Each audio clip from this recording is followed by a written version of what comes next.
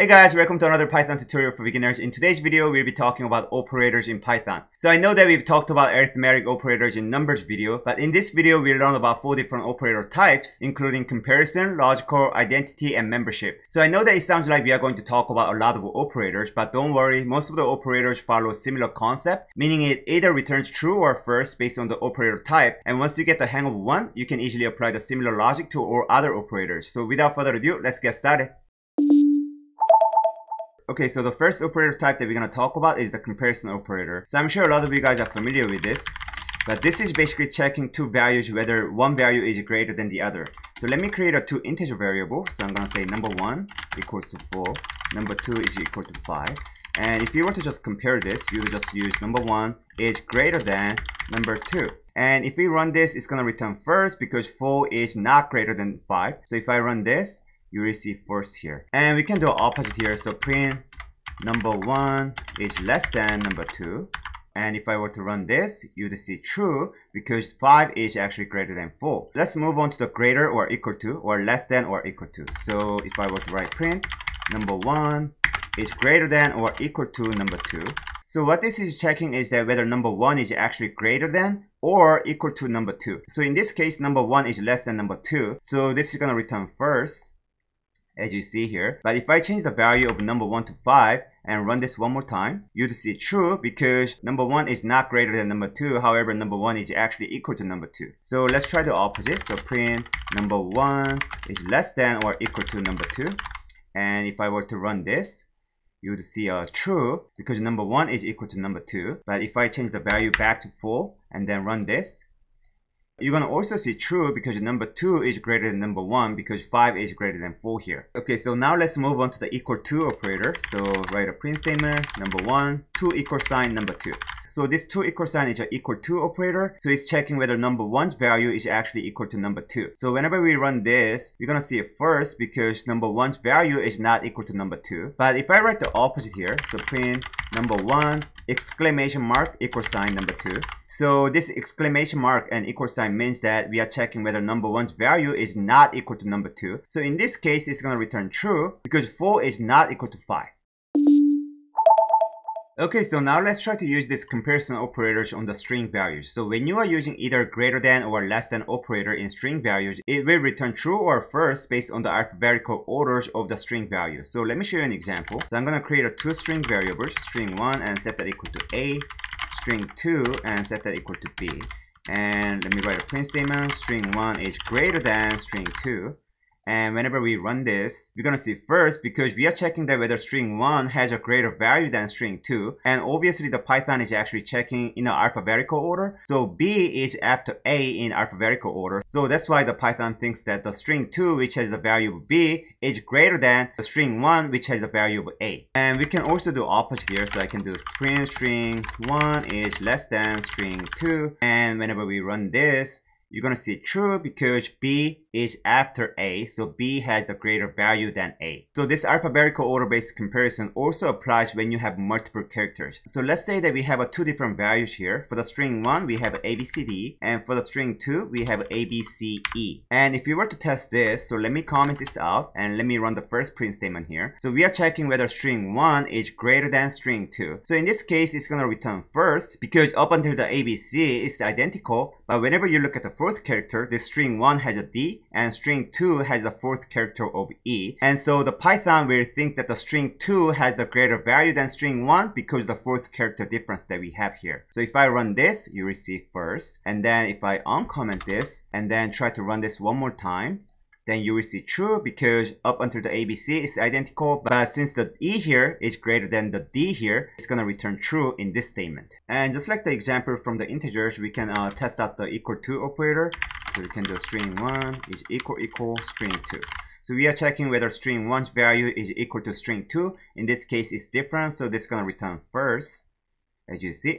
But if I write the opposite, print string 1 is not equal to string 2 it will return true because the string 1 is actually not equal to string 2 here.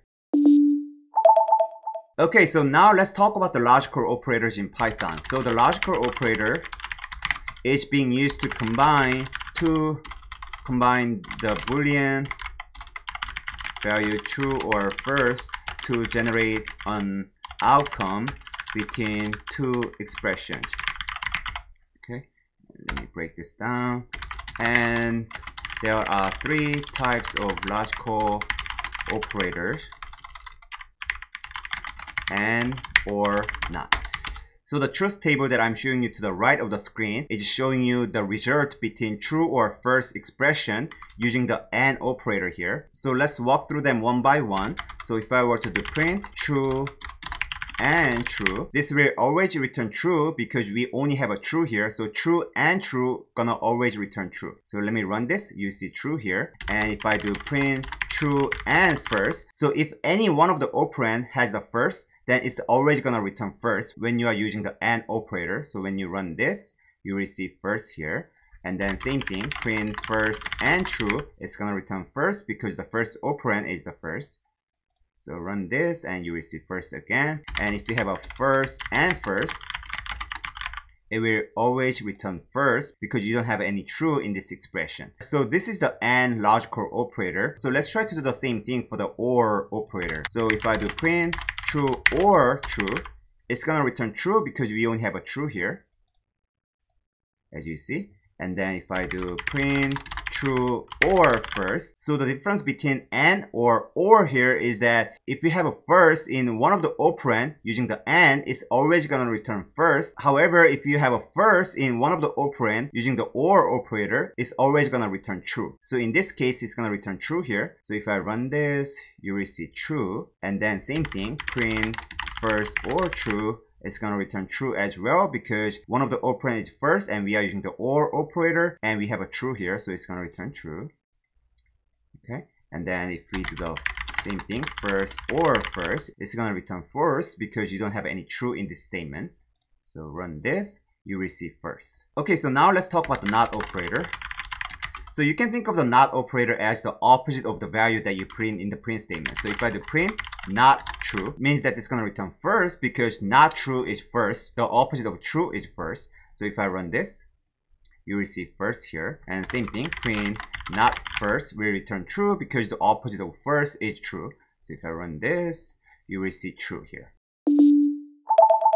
Okay, so now we talked about the logical operators. Let me go through some examples using different expressions. So let me create some variables. So I'm gonna do uh, number one, number two, number three, here equal to 5, 6, and 1. And then I'm gonna also set the string variables. So string 1, string 2, equal to ABCD and ABCD. So I'm just using the single line assignment here. So 5 corresponds to number 1, 6 corresponds to number 2, and so on. So let me create a print statement. Print number 2 minus number 1 equal equal number 3. And then let me use the AND logical operator and string 1 equal equal string 2. And let's also put some parentheses to define the order of operations parentheses here and then here. So okay, so what we have here is that we have a two expressions. So in this parenthesis, we are checking whether the outcome of this subtraction between number 2 minus number 1 is equal to number 3. And then the second expression that we have is checking whether string 1 value is equal to string 2 value. So we can already think about the outcome here. So let me just comment here. So outcome of this expression is true and we have the AND logical operator and also the outcome of this operation is true as well. So as we saw in the previous example in the truth table, if you have a true and true, it's gonna return true. So if I run this, you will see true here. Okay, so now then let me try to change this operand here to the false. So if I want to make this false, let me just swap these two values. So I'm gonna do number one minus number 2. So if we subtract the number 1 by number 2, we're going to get negative 1 and it does not equal to number 3. So the outcome of this parenthesis will be false. And if we use AND operator here and true, it's going to return false because as we learned, false and true is false. So if I run this, you receive false here. And same thing, if I change this AND operator to OR operator like that, Okay, so let me also change this value. Then you will see true because false or true will always return true because at least one of the operand contains the value of true. So if I run this, you will see true as well. Okay, so let me show you a quick example of using the OR and AND together in the same expression. So what we have right now will return true because we have a false or true. So let's say that you have another expression like that, and true. And we didn't define any order of operations, meaning that we didn't actually set the parentheses to here, to here. So what Python will do here is that it's gonna start from the left side. So this expression will return false, or, and this expression will return true. So the outcome of this false or true is true. And then the Python will actually evaluate true and true, which gonna return true here. So let me just write a simple comment here. So this entire expression will return true and then we can put the parentheses here and true so as we learned true and true will return true so if I run this you will see true Okay, so now let's talk about the identity operator. So the identity operator checks whether the two variables that you are comparing, meaning the two objects that you are comparing, is actually the same object. So we're gonna use the syntax called is. So let me first create a two variables. So string one is ABCD, string two is also ABCD.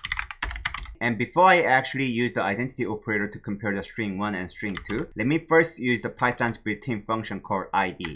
So print id string 1. So this id function will print out the memory location of where the string 1 variable is stored at. And then same thing, print id string 2.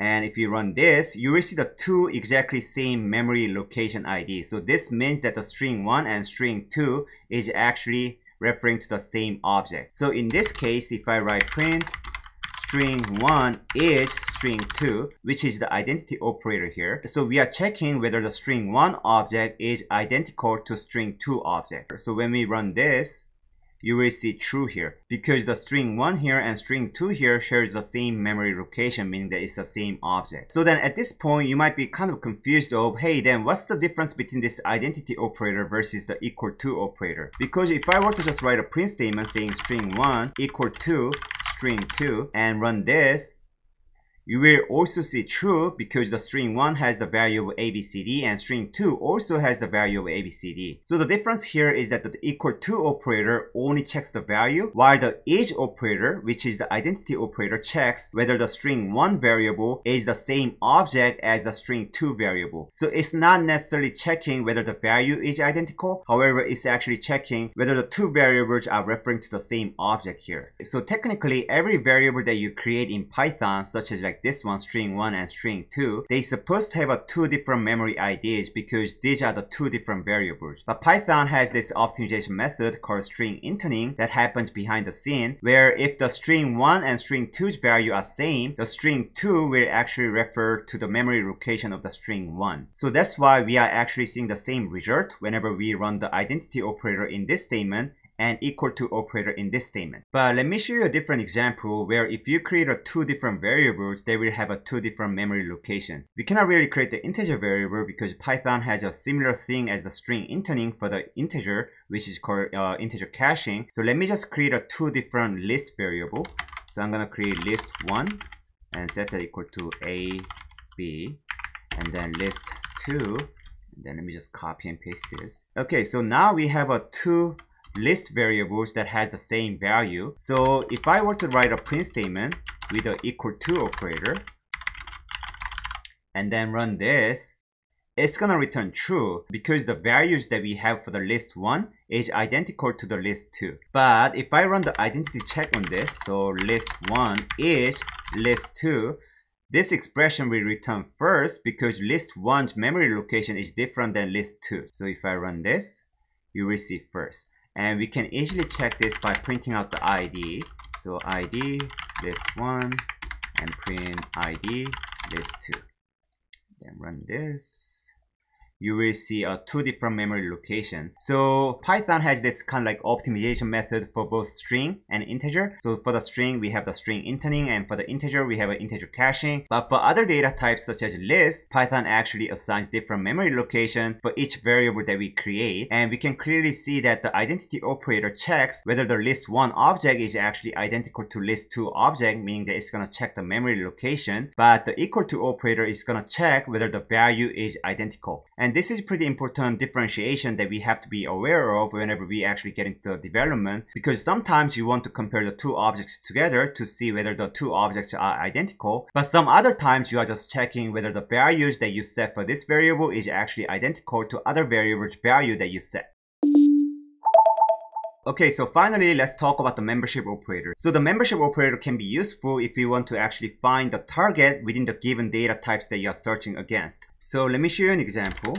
So membership operator, and we're gonna use your operator called in.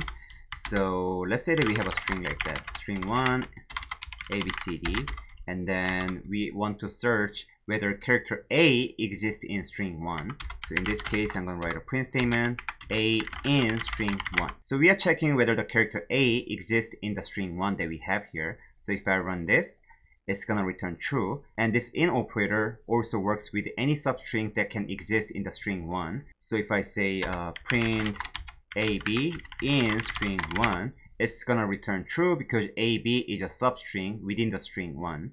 So if I run this, it's gonna return true. And just one more time. So if I say I want to check whether CD exists in the string 1, then I can just say CD in string 1 and you can just run this and you will see true as well. And we can also use the logical operator not here. So if you want to check that the target string CD does not exist in the string 1, then you can just put the not operator here and then if we run this, we will see false because the CD does exist in string 1, so not in will actually return false. And this membership operator can be especially useful if you are working with other data types such as list, tuple, or dictionary. So I'm gonna create a list called student list and then put some name here. Steve, and then Dan, and Ray. Okay, so we have a four students in this student list and I want to check whether Danny exists in this list. So that all we need to do is just write print Danny in student list and then if I were to print this out you will see true? Because Danny do exist in this list as an element and you can also test out different name like Dan and then run this. You will see true as well because Dan exists here. And also you can try a different name that does not exist in this list and if you run this you receive false Okay, so now let's try to have a final example that covers comparison, logical, identity, and membership operators all together at the same time. Uh, so I have some variables already set up for you. So let me write a print statement. So number one plus number two equal equal number three. So in the first expression, if you add number one by number two, whether it's gonna equal to number three, and then I'm gonna put and, enter. And then the second expression will be name one is name two and so in the second expression I'm checking whether name one object is identical to name two object. And in the last expression I'm gonna check whether Danny exists in student list. So we have a two and statement here. So if we were to evaluate this before we run this, this is gonna return true. And this second expression will return false because name one object is not equal to name two object because obviously the Python will now create two different objects because the name one and name two values are different as I explained before. And in the last expression, I'm checking whether Danny exists as an element in the student list, so which is gonna return true. So we have a true, false, and true. And because we are using the AND logical operators here, when you run this, it's going to return false because it's a true, false, and true. And because the second expression that we have here is false, and if you use the AND logical operators, if you have at least one false, it's going to return to false. But if you change this AND operator to OR, it's going to return true because it's true, false, and true.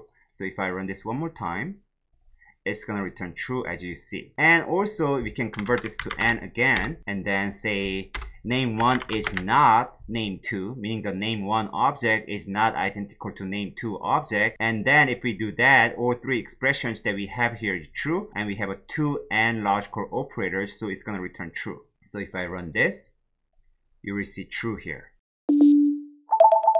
Okay guys, that's it for this video. We've talked about different types of operators including comparison, logical, identity, and membership. And these operators will be especially useful when we get to talk about conditionals and loops. So if you have any questions or comments, please comment down below. And if you haven't already subscribed, please click the subscribe and like button. Thank you so much for watching and hope to see you in next videos.